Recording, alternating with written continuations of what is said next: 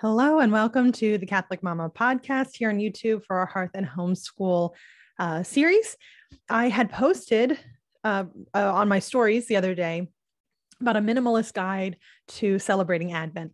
And I got a lot of feedback and people asking, can you please save it? Because I just screenshotted, um, I, I, keep a Google Doc of um, my plan, my plan for Advent as far as liturgical living goes. And people said, Can you please save this in your Instagram stories? And I said, Yes, absolutely. So I did save it, but then I thought, you know, maybe I should just do a quick video to explain a little bit more about it. Um, uh, even though it's it's it's really minimalist. So uh, this started. I decided to share um, my Advent plan. If you can even believe Advent is this close already, um, because I had asked for topics that people wanted to hear more about from the Catholic Mama. And one said, How do you get started with liturgical living? Either I'm a convert and I don't know how to get started, or I heard from people who said, I'm a lifelong Catholic, but we never did any of this stuff. And now I want to, but I don't know how. Um, and so, uh, been Catholic for almost four years. And when I first heard about liturgical living, I probably, I mean, it's, I liked it because I like parties and planning and all that stuff but it's really overwhelming because there's a feast day for every single day of the year. And if you celebrate all those with fun food, you would have um, a one way ticket to type 2 diabetes, probably, uh, or some other uh, metabolic illness.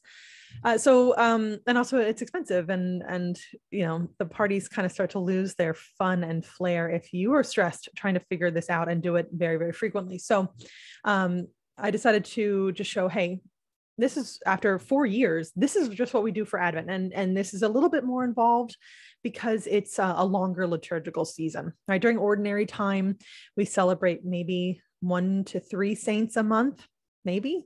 Um we just the, the family favorites and the ones that stick over time. And and i, I think a big just as a, a sidebar as you are developing your own liturgical celebrations and family traditions they grow you know they grow over time. Four years ago um, we would have celebrated st patrick's day and that would have been it. And um, and then we added a couple more things. And then um, probably about two years ago i went crazy and did everything and that was too much. Um, and uh, and then i pared back too much. And now we found nice the pendulum swung one way and then the other.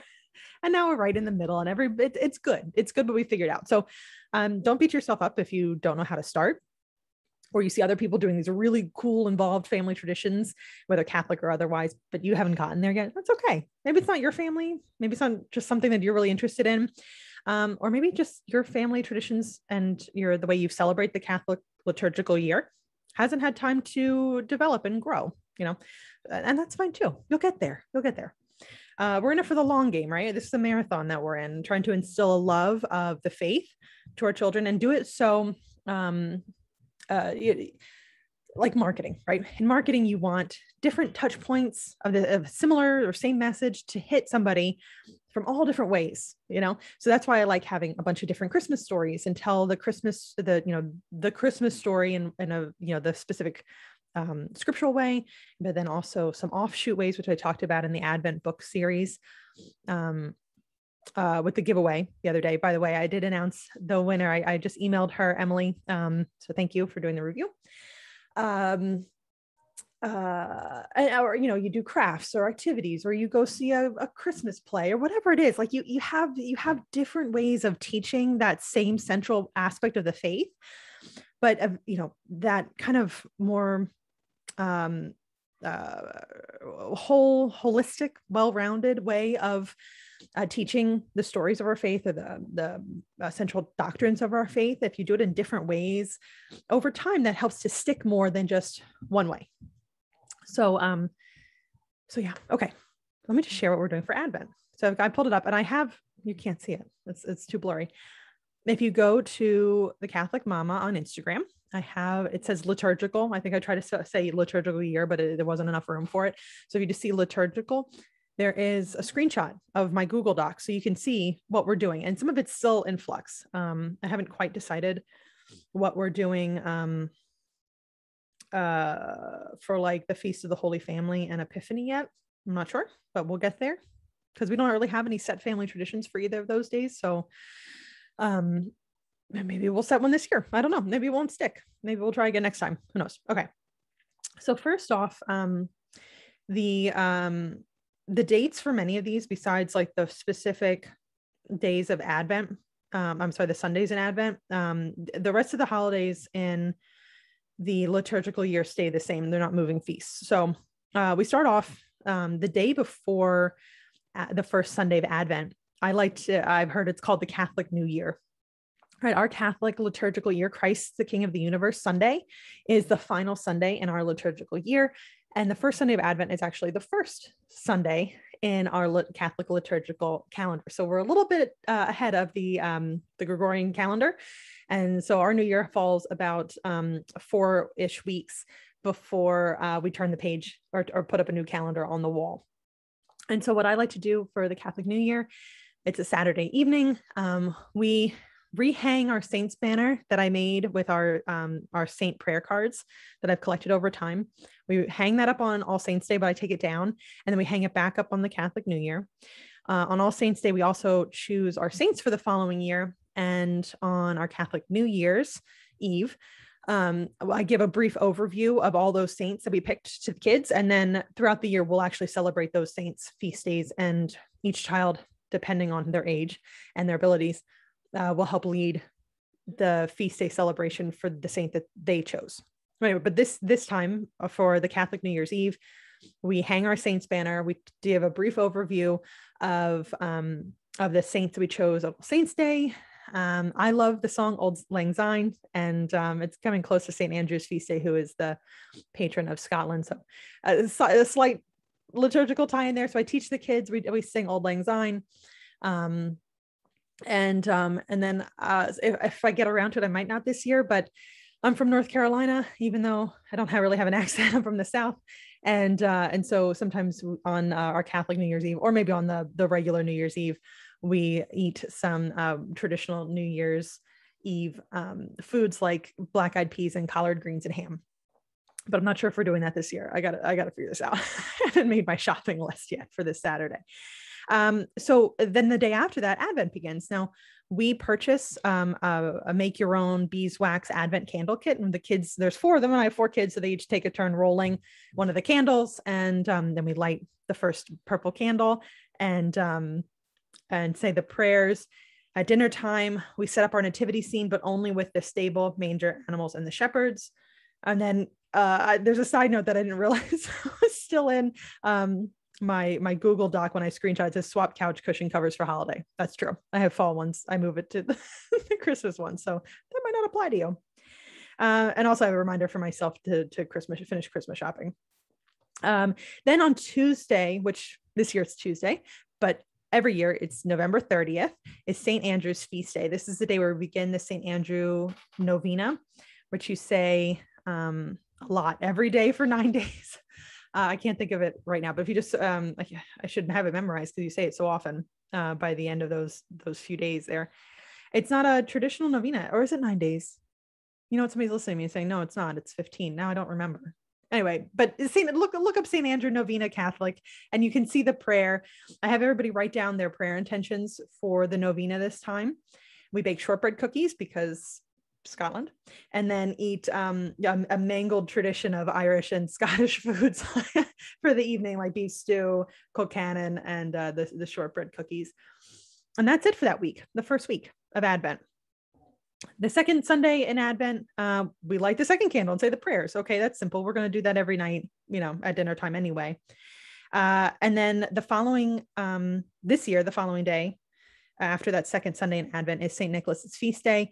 It's actually really big in our part of the country in the Midwest. I didn't really pay much attention to it until we moved here. Um, but now that we live in this part of the country and everybody seems to do St. Nicholas's feast day, even if they're not Catholic, um, we we just amped up our tradition of it, and it's it's it's nice. So on St. Nicholas's feast day, which is December sixth, we set out the Christmas stockings for the kids, and for that, it's just oranges, their Christmas pajamas, um, some candy. My kids love Pokemon cards, so they'll each get a little booster pack for five dollars, um, slippers, and some stickers. And then um, we bake gingerbread cookies. And um, just for my sake, um, if you ever try to bake a bunch with kids, it's good to separate out the, the steps as much as possible. So I'll make some gingerbread house dough because we're going to make our little gingerbread houses this year instead of doing a kit, which we usually do. uh, I'm, I'm feeling um, feeling like I have the energy to do it. We'll see. Um, I'll make that ahead of time too, but that's more a note for myself. Um, and then the kids don't get their Christmas stockings on Christmas Day. We just do it on St. Nicholas's feast day and then hang them up for decoration after that. Um, this year, every other year, the Immaculate Conception on December 8th is a holy day of obligation. It alternates. This year in 2021, it is a holy day. So we'll go to church and we'll talk about it in the car about what the Immaculate Conception is, but that's probably pretty much it. Um, and then personally for us on Friday, um, the 9th, we'll go out and get a Christmas tree and I'll bake the gingerbread house pieces. That's just a note for myself. Uh, and then Saturday, December 10th is Our Lady of Loreto feast day. And that has a really cool um, fable or tale along with it that the kids, I like to retell the kids. You can just search for that online and see if you'd like to tell that with your your to your children. Um, there's also the litany of Loreto, so we'll pray that as a family. And then, if all goes well, we'll be decorating gingerbread houses that day, which goes along with the the tale of Our Lady of Loreto. Um, a Sunday, the, the following Sunday is the third Sunday in Advent. That's Gaudete Sunday. So that's like the day where the priests wear the rose-colored vestments, and it's like the the joy. We're almost we're almost at Christmas. It's almost happening. So we were the rose or the pink and um, and celebrate that way. We're gonna light our Christmas tree that day, um, and I'll put up the kids' Christmas tree for dinner that night. We'll we'll have or at least dessert. We'll have um, I'm gonna make strawberry jam hand pies for everybody with some pink frosting on it, just to pink rose, you know, liturgical. We'll light that pink advent ca- calendar and also add Mary and Joseph to the nativity scene. On December 13th is St. Lucia's feast day. That's my patron saint. So we pay a little bit of attention. It's always been my favorite feast day. Um, uh, I like to dress all my kids up, whether they like it or not, in St. Lucia and Star Boy costumes. So I'll make really easy, like paper and spare white shirts outfits. This is not anything um, extraordinary or costly and i just remake it every year because the kids mess it up and then we bake saffron buns and pfeffernusses which are um, a family tradition uh, it's an, uh, an, austrian german spice cookie so we just make those that day and i freeze them for christmas and then we also decorate the outside of the house right lucia brings light into the darkness so we finally light up the outside of the house we're getting close to christmas at this point so we kind of stagger how we decorate and start the Christmas season, right? We, we do it more slowly um, than than the, I think the typical uh, uh, family might. I don't know. Okay, um, and then December 16th to December 24th is the Christmas novena. It's um, a little lengthy. The prayers are lovely. You can go to CatholicCulture.org and search for Catholic Christmas novena, and um, it'll come up. Uh, I've I have it saved and we just print off a new one every year. Um, and then, uh, so we do that every evening together as a family. And then uh, a couple years ago, actually, we did an open house policy where anybody could just come and um, and uh, come over to our house and do the prayers with us. And it worked really well, but we haven't done it since. So that's an idea. If you want to invite people over, have a Catholic gathering, you can always invite them for the purpose of between the 16th and the 24th of saying these prayers for you. And it, it was nice. We did a, um, a couple years ago, we had the prayers for everybody a holiday snack for the kids and um and then a christmas storybook and it was it was really sweet but we didn't um we haven't done that since. Okay and then uh and then after that the 19th for the 2021 year is the fourth sunday in advent. So we light the fourth candle say the prayers very simple. And then the following uh, the rest of that week i'm just baking and um finishing final prep. Um i try to keep everything very basic. I don't buy a lot of gifts. I don't like things. I i'm I hate clutter. So uh, we, we try to pare down as much as possible. Plus we have very generous grandparents that, um, that fill the under the space under the tree uh, a lot. So I don't have a lot to do as far as gift um, uh, wrapping goes or shopping or anything like that, but that's purposeful. That's just me. Um, and then um, and then when Christmas Eve rolls around, we'll decorate the tree um, in early evening and have hot chocolate and then get the kids ready to go after having it's this falls on a friday but we don't eat meat on um we don't eat meat any friday during the year and we don't eat meat on christmas eve anyway so we'll have a meat free fish dinner maybe fish um, and then head out to Christmas Eve Mass. So that's Advent. I would keep going on what I'm doing for the Christmas season, but I don't really have that planned out yet. So maybe I'll do another video. But after all that said and done, um, and I've explained all this, the screenshot is of all of what I just went through is over on Instagram. If you go to the Catholic Mama on Instagram and so, and look at my highlights and look for her liturgicals. I first it'll be the first or second one on there, and you can take a look and see um, and see what our plan is. Again, we try to do minimalist. Uh, if we go too much, then I get overwhelmed and we don't do it again. so we've learned through trial and error that this works well for us. It's a nice, gentle way of celebrating the Advent season. Um, and and still includes some fun stuff because we wait until Christmas to celebrate Christmas. So it still kind of builds up as we get closer to Christmas, and the kids still have a lot of fun. We do all the stuff that I grew up with, even though I wasn't Catholic. Um, so it, it checks a lot of boxes the way we do our Advent, and um, and it works for our family. So um, I, I, invite you to copy and paste whatever you'd like from from what I've shared, or or you know, do whatever you want. uh, but just um, give yourself some grace. Don't get overwhelmed.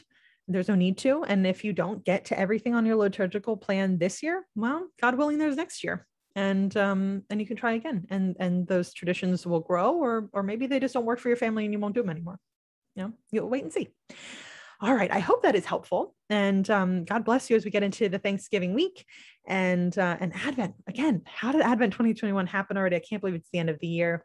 God bless you. And until next time.